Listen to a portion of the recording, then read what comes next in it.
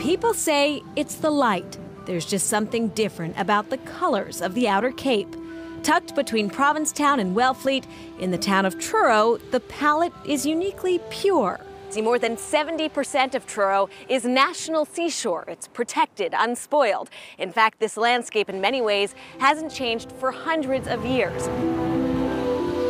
To many, it's that very untamed landscape that's so appealing. For well over a century, this town has been a haven for artists of all kinds.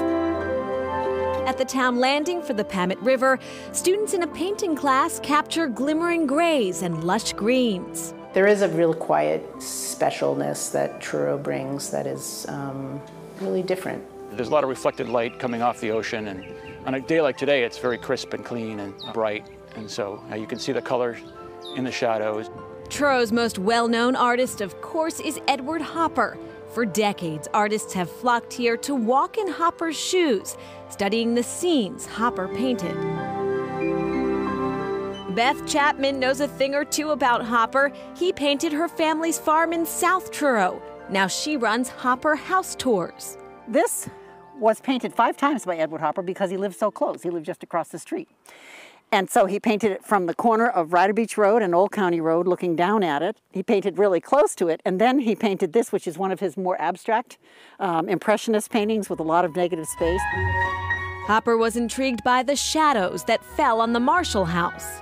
I think it's wonderful. Joan Marshall remembers when she first saw the painting of her home. I stood there and wept. It's absolutely exquisite. It truly is. Many artists have felt that it is one of the better examples of what he loved doing, painting light on the side of houses.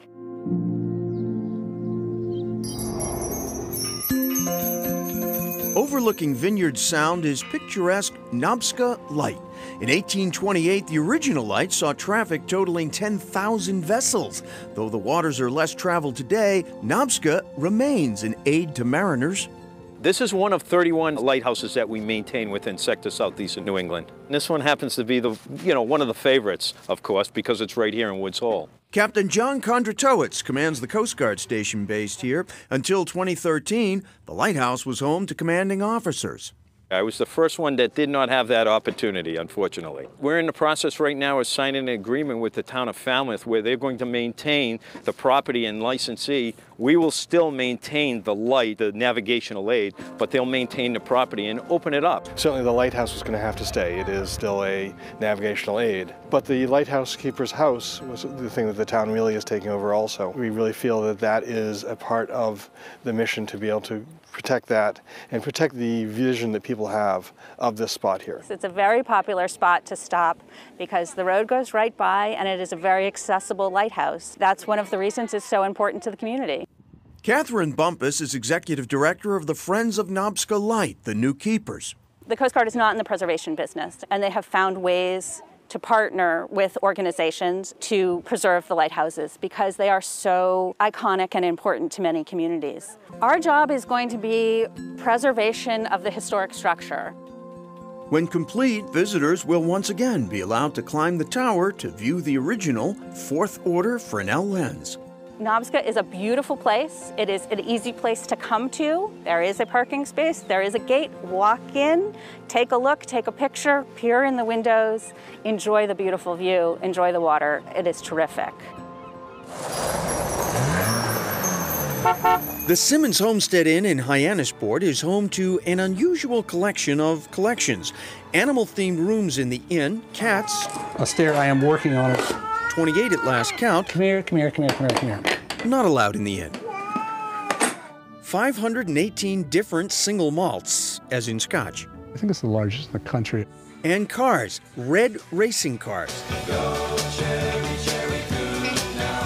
Innkeeper Bill Putman says he doesn't mean to be a collector, it just happens. I'm not compulsive or anything like that, but one thing seems to lead to another, and it's something like with the cars. If one's fun, well, two's even more fun you know, three's okay. And on and on and on. In here, there are probably 40 different shades of red. With one exception this British Racing Green.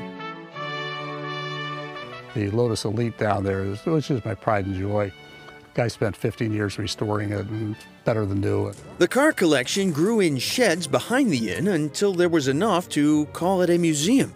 Putman named it Toad Hall after the children's book The Wind in the Willows. Putman's Toad Hall welcomes visitors. It's even a stop on the local trolley tour. Can we come in and see your cars? Yeah, we do charge admission, but um, uh, cats are free. And in case you didn't notice, the cats are red too.